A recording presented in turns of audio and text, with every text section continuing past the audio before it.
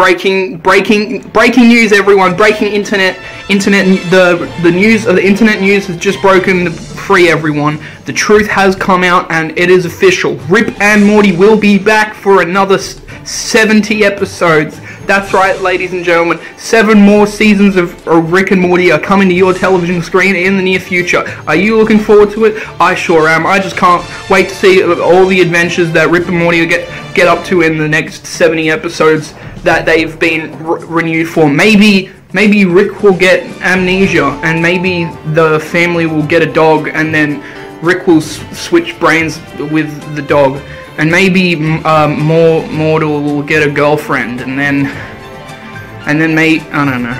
Any they can with uh, seventy with.